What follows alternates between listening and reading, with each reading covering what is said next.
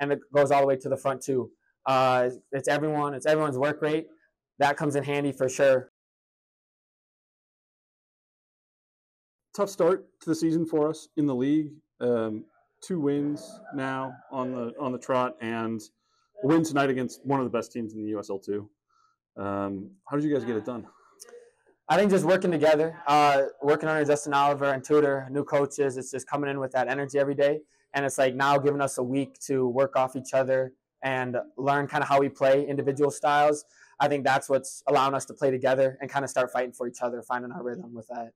This is your your first season with City. Um, game winner tonight and uh, play the match from the Citizens.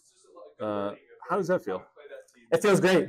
Uh, but I, I can't win this without my teammates for sure. Evan, huge keeper saves, back line, a lot of communication, and just showing up. And it goes all the way to the front too. Uh, it's everyone. It's everyone's work rate.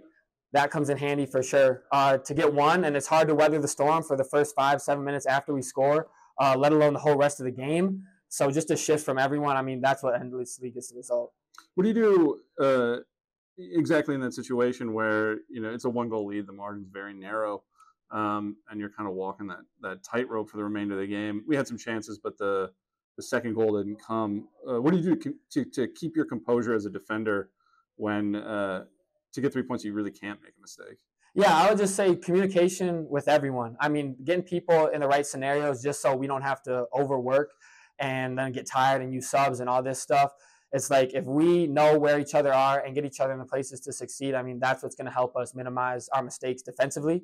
And then once we get the ball, just allowing ourselves to breathe and showing up for each other, uh, just physically and all, all that.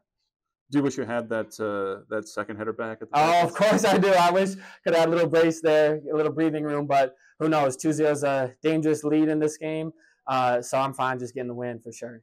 Congrats. Thank you. Appreciate it.